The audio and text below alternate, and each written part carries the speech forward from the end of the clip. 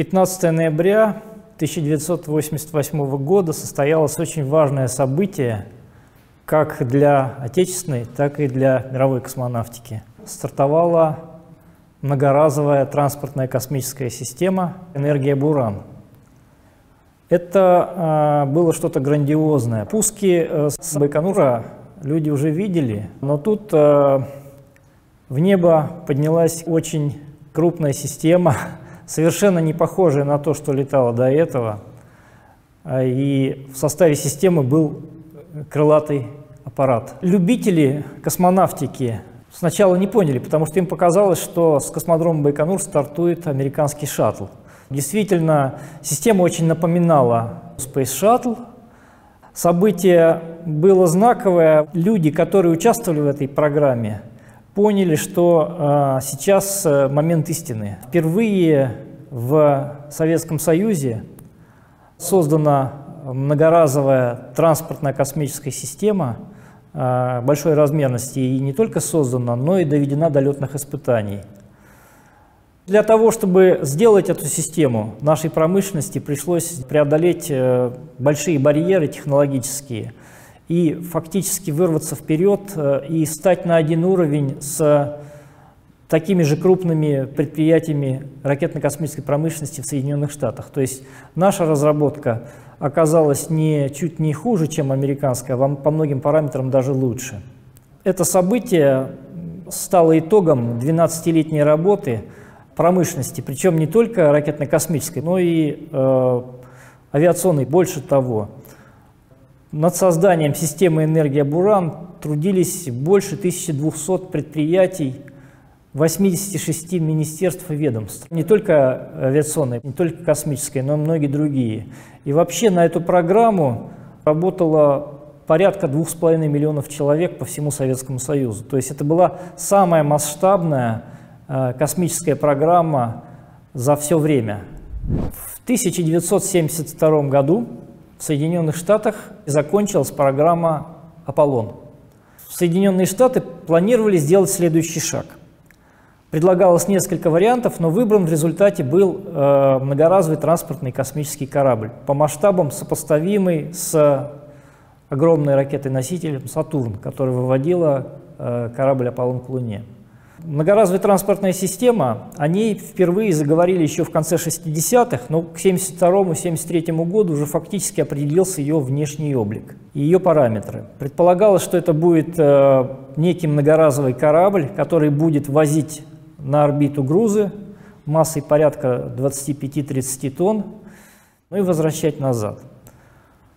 Среди этих грузов э, заявлялись э, блоки для орбитальных станций, спутники, которые можно было не только запускать, но и обслуживать на орбите, если надо возвращать на Землю, а также блоки для э, межпланетных кораблей, для полета к Марсу, допустим, или элементы для строительства лунной станции. Военные американские говорили, что шаттл будет выполнять ряд военных задач. Но какие военные задачи при этом нигде не оговаривалось конкретно.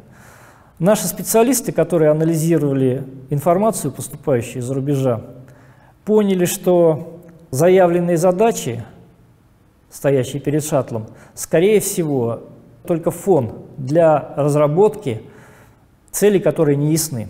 Масштабность э, проекта была очень велика, целей реальных не было, затраты огромные, и наши специалисты сделали вывод, что, скорее всего, этот корабль будет использоваться для каких-то целей неизвестных, так как это был не просто маленький спутник и не просто какой-то корабль, как было раньше, а что-то грандиозное, а, возникла угроза, что он может нести какие-то реальные военные объекты, поэтому было принято решение, что нужно делать какую-то систему в ответ. И вот где-то начиная с 1971 года проводились э, сначала теоретические исследования, в обосновании того, что можно противопоставить шаттлу. А потом уже была выдвинута комплексная программа. Одним из элементов этой программы было создание многоразовой транспортной системы, аналогичной по возможностям американскому шаттлу. С этой э, комплексной программой разработчики вышли э, в правительство. Надо сказать, что тогда а в, в отечественной космонавтике намечался некий кризис, связанный с тем, что мы отстали в лунной гонке, проиграли. Народу нужно было предъявлять какие-то победы. В теории э, тогда начали запускать космические станции «Салют». Но с ними тоже поначалу не очень хорошо клеилось, потом уже, в общем, более-менее стало нормально. Но в тот момент, в 72 73 74 год, было принято решение переключить силы э, промышленности ракетной на создание многоразовой транспортной космической системы. Но так как она была больше по масштабам, чем могла себе позволить промышленность, было принято решение, что, наверное, ее нужно, эту программу, не просто проводить силами какого-то одного предприятия, как и было также с лунной программой, которую в основном тянуло предприятие, которое сейчас называется Ракетно-космическая корпорация «Энергия» было принято решение объявить программу общенациональной.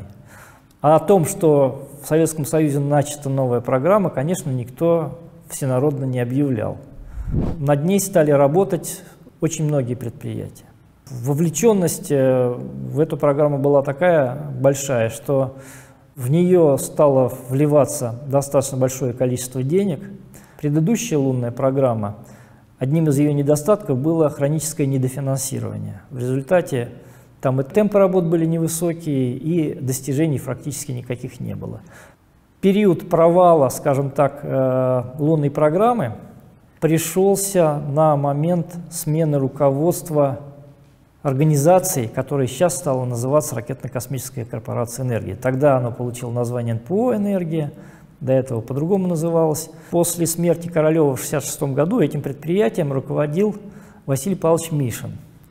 При нем начинались полеты на космические станции, при нем начиналось испытание космического корабля «Союз», при нем развертывалась лунная программа. С лунной программой практически ничего не вышло. То есть были вложены большие деньги, но мы опоздали, американцы первыми высадились на Луну. Результат, который нужно было предъявлять людям, предъявлять было нечего. Поэтому руководство страны приняло решение поменять, во-первых, руководителя предприятия, и, во-вторых, поменять вектор движения всей нашей э, ракетно-космической промышленности. Василий Павловича Мишина сменил э, э, Валентин Петрович Глушко, выдающийся теоретик и практик, известнейший двигателист, который до этого работал э, на предприятии НПО «Энергомаш».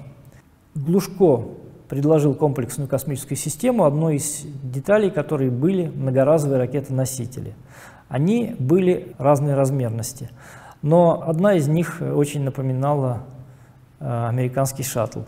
Почему так получилось? Нужно было искать заказчика.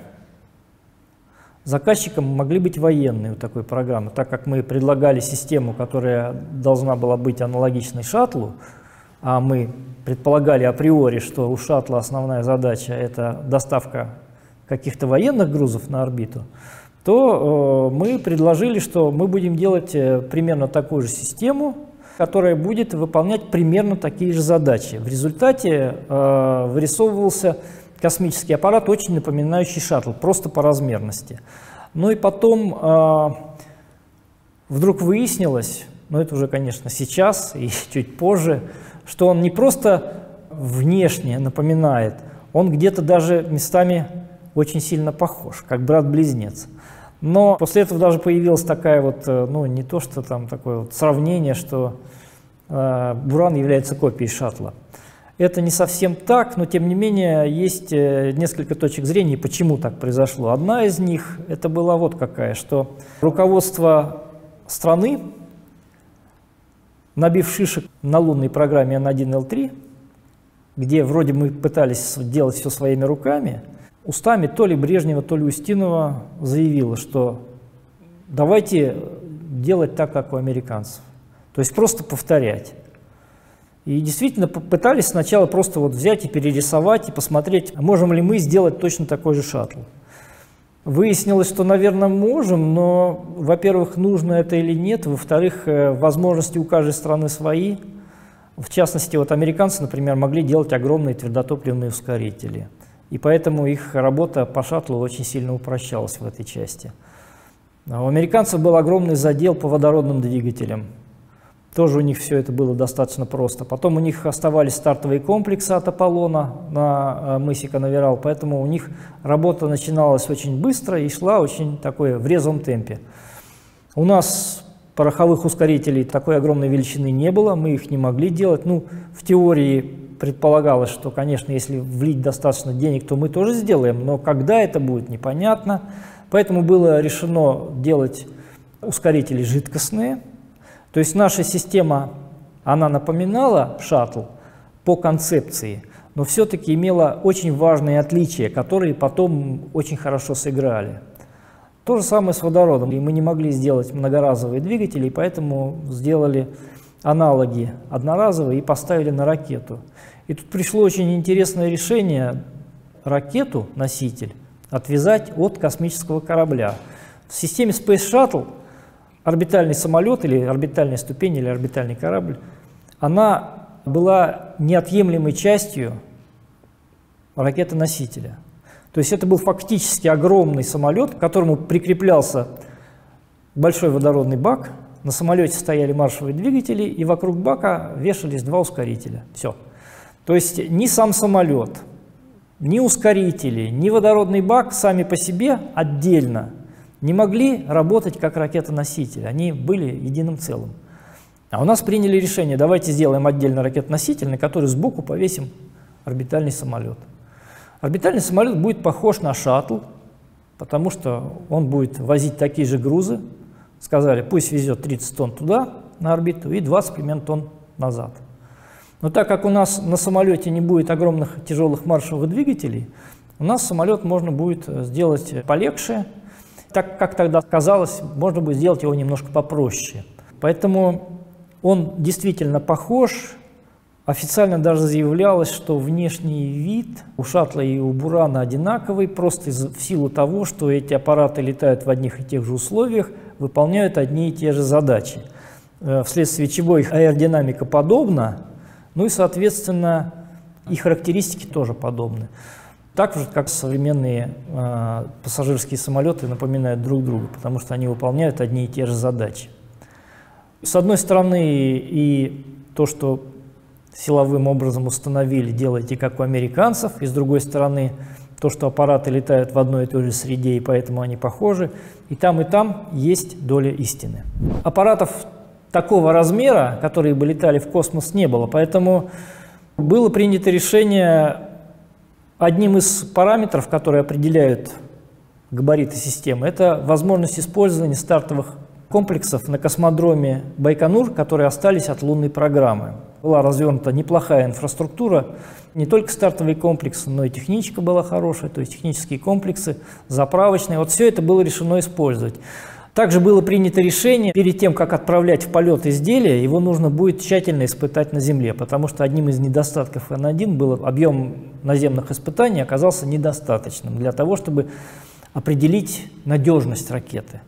В данном случае предполагалось, что давайте испытаем не просто там какие-то отдельные агрегаты или ступени ракеты на Земле, но и практически весь комплекс – был построен универсальный стенд, на котором можно было отработать э, всю ракету на Земле, причем на полное время работы двигателей. До этого у нас в Советском Союзе таких решений не принималось. В отличие от всех предыдущих программ, очень много внимания уделялось стендовой обработке. И под это дело закладывались новые предприятия, строились новые стенды. Здесь было сделано очень много. Для создания этой системы потребовалось решить очень много а, различных задач. Ну, во-первых, как я сказал, система была очень масштабная. Допустим, ракета «Союз», она весит примерно 310 тонн. В данном случае стартовая масса системы энергии «Буран» составляла 2400 тонн. Это очень много, в разы больше, чем «Союз». Нужно было решать задачи, связанные с ракетой-носителем, но, как оказалось чуть позже, Самой сложной задачей было создание орбитального корабля. Для того, чтобы решить задачу создания корабля, пришлось не просто напрячься, но пришлось соединить усилия и космической промышленности, и авиационной, и даже создать специальную организацию, которая будет заниматься конкретным космическим кораблем. Это НПО «Молния», Его возглавил Глеб Евгеньевич Лазин-Лазинский.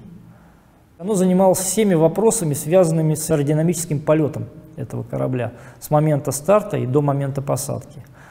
Даже судя по названию, называется орбитальный корабль.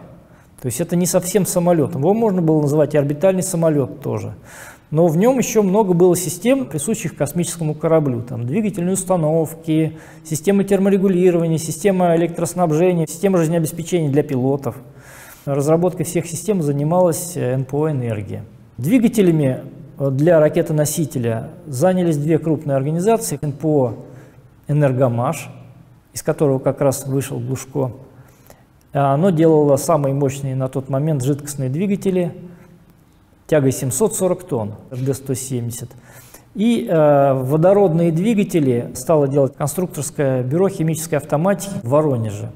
Были выделены очень солидные средства, которые позволили не только расширить эти предприятия. Фактически было создано новое производство водородных двигателей, которых у нас до этого не было. Наши разработки по водородной тематике тогда ну, имели гораздо меньшие масштабы, чем требовалось для программы «Энергия Буран».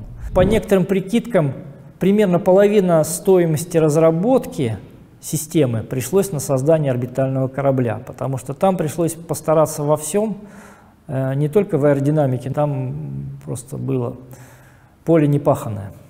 Постановление о создании системы энергии Буран вышло в феврале 1976 года. Первый полет ракеты «Энергия», тогда еще корабль был не совсем готов, состоялся через 11 лет после выхода этого постановления. Это было 15 мая 1987 года. Тогда ракета стартовала с этого стенда старта. Вместо корабля на ней был установлен полумакетный полезный груз, который назвали «Полюс» официально, но это был прототип будущего большого 100-тонного аппарата, предназначенного для решения прикладных задач в космосе. Полет ракеты проходил успешно, но аппарат на орбиту не вышел из-за программных ошибок в системе управления самого аппарата. Через год, в ноябре 1988 года, состоялся второй старт энергии уже с кораблем. Со штатного стартового комплекса. Для того, чтобы энергия полетела, пришлось сделать очень много. Пришлось э, создать орбитальный корабль 100-тонного класса, которого не было до этого, ракету-носитель среднего класса «Зенит», который использовался в качестве боковых ускорителей. Были сделаны самые мощные в мире кислородно-керосиновые двигатели тягой 740 тонн, это РД-170-171 первые в Советском Союзе мощные водородные двигатели РД-0120, тягой порядка, по-моему, 150 тонн на Земле. Была сделана система автоматического управления, которая позволила совершить кораблю посадку в беспилотном режиме. Был построен стенд-старт, на котором можно было проверить всю систему на космодроме Байконур. Создана была система управления всем этим проектом, которая позволила связать воедино все усилия и реализовать э, систему в, в какие-то сроки. Конечно, сроки выдержать всегда очень тяжело. В данном случае тоже было опоздание, но и американцы тоже опоздали со своим шаттлом. Систему «Энергия Буран» невозможно было создать с использованием того технического задела, который оставался на начало 70-х годов. Нужно было создать новые сплавы, новые технологии, которые позволяли сваривать эти огромные баки. Было развернуто производство водорода в огромных масштабах. Была создана наземная инфраструктура, которая позволяла испытывать, проверять, э, заправлять технику, принимать этот корабль после полета. Работы проведены в области материаловедения, в области электроники – Э, вычислительной техники. Была создана э, уникальная теплозащита. Теплозащита была сделана на базе э, керамических материалов. С точки зрения построения системы она надежнее, чем у шаттла, и она легче. Все это нужно было разработать, наладить производство. Производство было разбросано фактически по всему Советскому Союзу. То есть была создана кооперация к нужному моменту. Поступали теплозащита, двигатели, шасси, остекление кабины, до саму кабину пришлось делать. Для того, чтобы э, корабль «Буран» испытать, как он будет себя вести в атмосфере, были созданы несколько летающих аналогов. Таким образом, э, к 1987-1988 году фактически была перевооружена вся наша ракетно-космическая промышленность. А те достижения в аэродинамике, которые были получены на программе «Буран», они пошли в авиацию. В 1988 году, когда э, все ликовали, то есть они видели свой успех, э, у руководства радости было гораздо меньше. Э, менялась коренным образом советская военная доктрина. От э, прямого противодействия с Западом было принято решение э, идти на разрядку международной напряженности и, возможно, даже где-то договариваться – очень скоро стало понятно, что военные задачи у Бурана резко сократились. Но ну, а так как э, в, Министерство обороны было основным заказчиком программы, система военным стала не нужна. Темпы работ резко замедлились. В это время страна переживала очень э, тяжелый период. Был кризис экономический. С 1988 года до где-то 91-92 еще были какие-то попытки использовать программу «Буран», продолжали готовиться космонавты для полетов, составлялись графики полетов, но было понятно, что задачи системы растворяются, их становится все меньше и меньше. Стоимость пуска энергии «Буран» с учетом тех денег, которые были потрачены – а потрачено на, на нее было больше 16 миллиардов рублей. То есть это были грандиозные деньги. Поэтому при пересчете получалось, что полет Бурана стоит в десятки раз дороже запуска одноразовой ракеты. Понятно, что возможности у Бурана больше, но, скажем, стоимость пуска Союза тогда э, рассчитывалась примерно в 2,5 миллиона рублей. Стоимость полета Бурана в разы была, в десятки раз больше полет стоил фактически всей программы запусков космических кораблей на целый год, который была. Поэтому денег в стране становилось все меньше и меньше. Те, кто жил в те времена, помнят, как тогда критиковали космонавтику. Был брошен в лозунг народ, что э, в космос вылетают наши рубли, что не пора ли космонавтике вернуть долги народу, Поэтому э, даже проходили демонстрации, запретить вообще летать в космос. Популизм он э, сыграл, конечно, очень плохо. Кроме того, после первого полета энергии Бурана американцы, увидев, что в Советском Союзе могут решать точно такие же задачи, как и они, вдруг неожиданно стали сворачивать свою программу стратегической оборонной инициативы СОИ. То есть у американцев э, с военным использованием космоса ничего не получилось, но и наши военные, видимо, глядя на это, тоже решили э, в эти игры дальше не играть. Буран оказался без задач, без денег и э, в стране, которой он сам оказался не нужен. Но остались предприятия, в которые были вложены огромные деньги, и остались технологии. Эти новые технологии можно было применить не только для Бурана, что и было сделано потом. Большая часть новых разработок пошла в авиацию. Именно с Бурана прежде всего. Началось широкое применение композитных материалов в, отечественных самолетах, как э, гражданских, так и военных. Но ну, многие технологии были использованы в народном хозяйстве.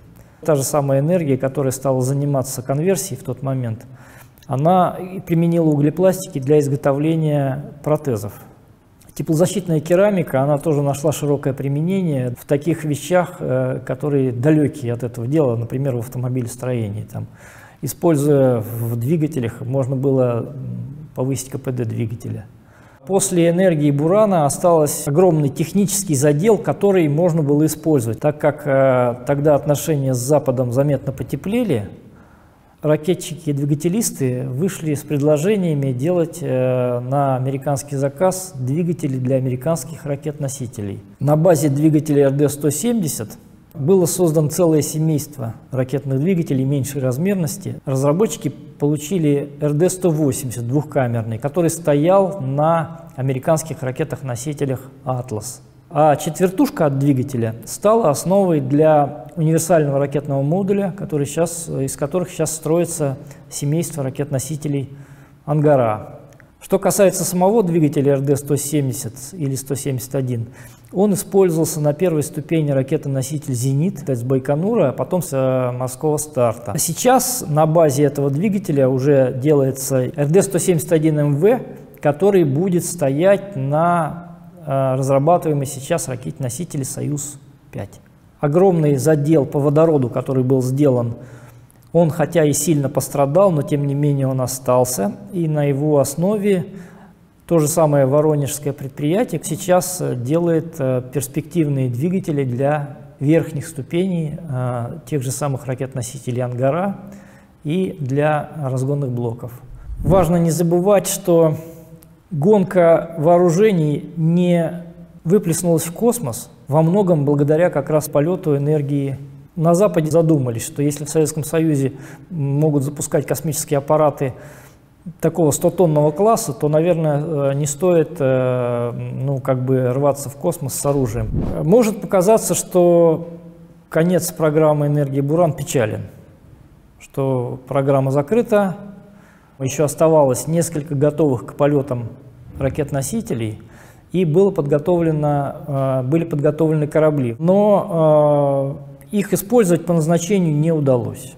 Тот первый корабль, который совершил полет, его судьба печальна. На Байконуре обрушилась крыша корпуса, где он находился, и корабль, и ракетоноситель их раздавил этой крышей. Макеты и стенды тоже остались. Каков итог?